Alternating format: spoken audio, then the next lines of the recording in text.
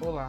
sejam todos bem-vindos ao 15º Colóquio Internacional de Educação e Contemporaneidade, EDUCOM. Eu me chamo William Lima e estou aqui para apresentar para vocês o eixo temático 8, intitulado Educação, Inovação e Tecnologias. Neste eixo,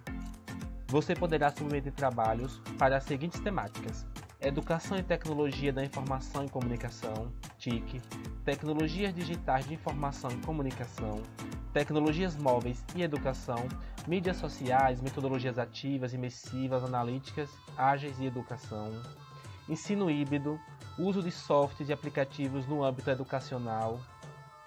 Inovação e Educação, Relações entre Mídias, Tecnologia e Educação em contextos contemporâneos, políticas de acesso às mídias, habilidades para a produção do conhecimento, alfabetização midiática e informacional, pensamento computacional, uso de recursos audiovisuais para fins pedagógicos, uso de tecnologias digitais como espaços de aprendizagem,